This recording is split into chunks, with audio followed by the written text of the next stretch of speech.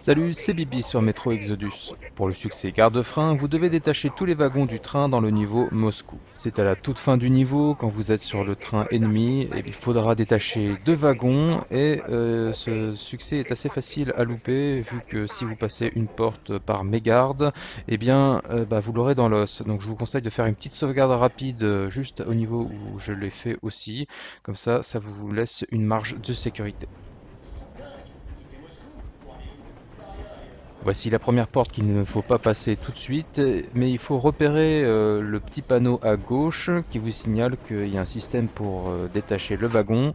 Il faut l'activer, s'ensuit une petite animation, une petite cinématique euh, durant laquelle Artyom détache effectivement le wagon et on le voit s'éloigner tranquillement.